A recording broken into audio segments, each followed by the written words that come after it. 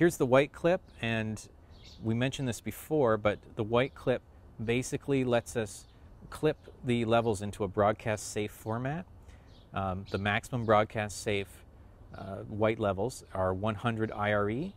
So if we go to 100, you can see that the, uh, the brightest white, and I'm thinking about the highlight on Derek's forehead here, has been clipped down to 100 IRE. Now, if we shoot on 108 and we're not directly broadcasting what we're shooting, we're going to color correct in post.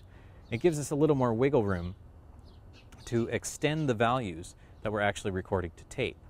So a level of 108 is what I normally use. Unless I'm going direct to broadcast, then I would essentially be required to put it on 100 just to make sure that we're in a safe zone for broadcast. We're not going to broadcast any illegal levels. So here's the knee control. Now the knee control has essentially two options, manual and auto.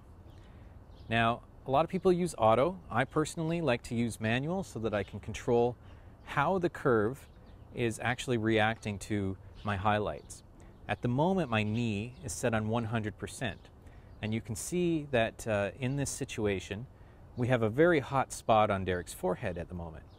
Now what I'm going to do is I'm going to turn the level down of the knee. And I'm only controlling the top part of the curve, just the highlights. So I'm really, when I turn this down, you can see that that highlight just rolls off a little softer into white. Instead of just clipping to white, now it's rolling off into white. And the knee circuit can go as low as 80%, which is really great for uh, giving us very much a film look and getting away from the video clipping that is normally associated with most video cameras. And we can see on the chart exactly what happens once we start turning it down. We start to get definition in those uh, in those white chips, um, and I'm thinking about the last three on the right.